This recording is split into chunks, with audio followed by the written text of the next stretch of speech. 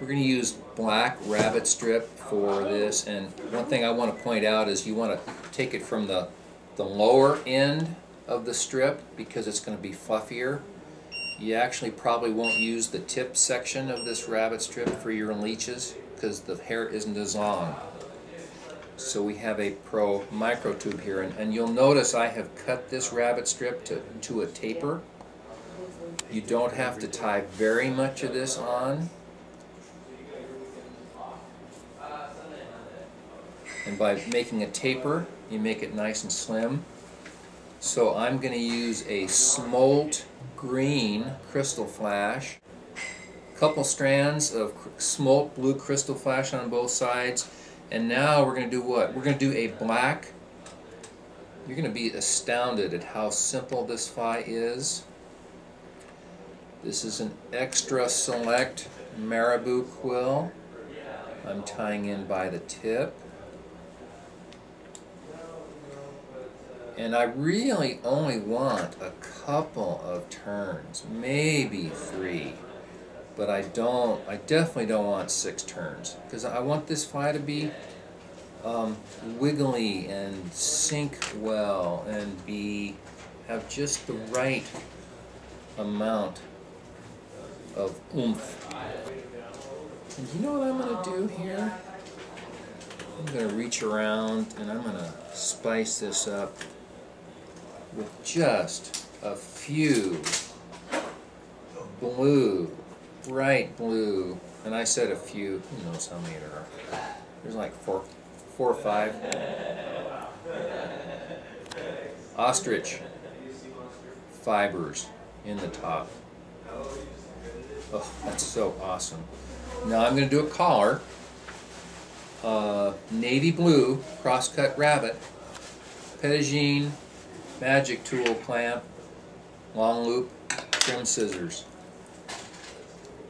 And make my loop here. A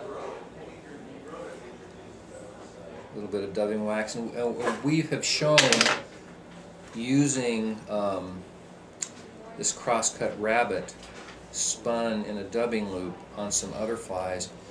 It really makes a nice way to finish off the front of your tube flies. Getting lucky so far folks, everything's going well. I'm holding it up here so you can see this turn from just a bunch of rabbit fur into a really nice hackle brush. If we don't knock the table over and the lamp over and fall out of our chair. I'm going to wind this on.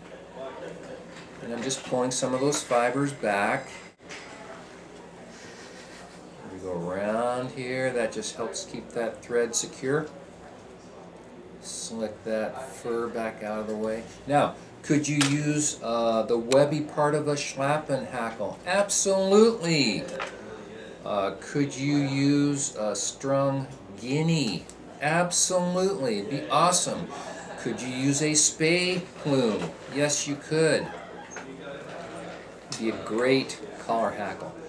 I'm just, right now, kind of partial to these guys. Um, so, let's try a Procone disc. This is a metal disc.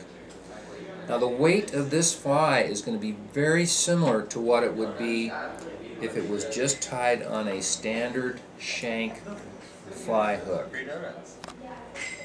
Trim this, not too short.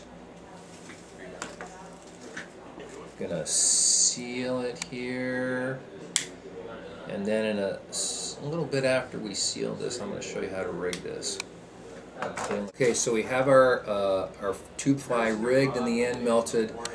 I have added a uh, green translucent silicone hook guide.